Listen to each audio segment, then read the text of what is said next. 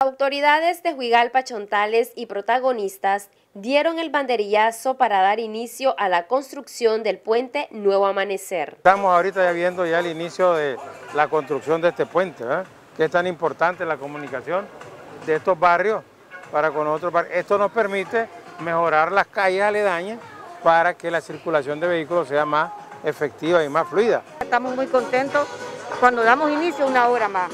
Y este es un puente que toda la población está muy satisfecha, alegre, ya anduve caminando, oí las expresiones de, los pobladores de Huigalpa, de este barrio Nuevo Amanecer, uno, y está muy contento, ¿verdad?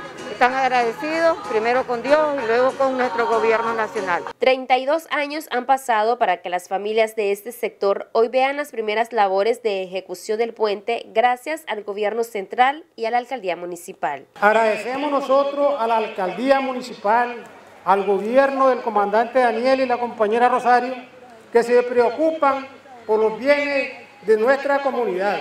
Este puente tiene más de 32 años de estar en condiciones precarias y hoy gracias al gobierno este proyecto es aprobado.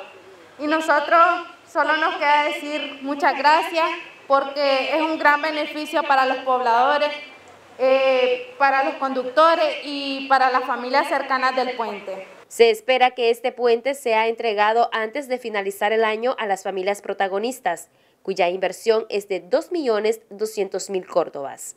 Multinoticias, Yudelis López.